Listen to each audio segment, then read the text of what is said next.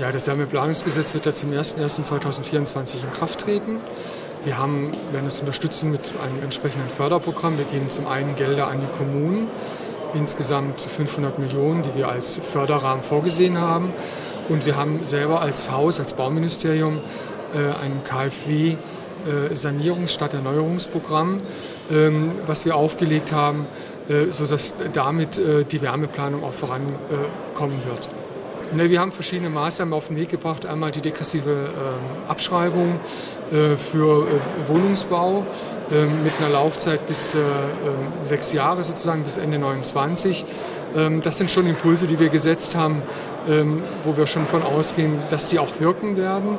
Wir haben auch bei der Wohneigentumsförderung die Einkommensgrenzen von 60.000 auf 90.000 angehoben, sodass wir da äh, uns auch einen entsprechenden Schub erhoffen.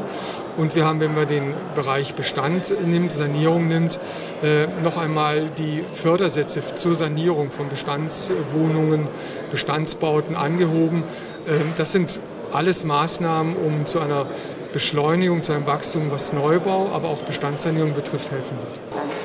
Also uns ist es wichtig, dass es keinen Sanierungszwang gibt, weil wir haben sehr viele äh, alte Gebäude, die, äh, was den Bereich erneuerbare Energien betrifft, sehr, sehr schlecht äh, sind.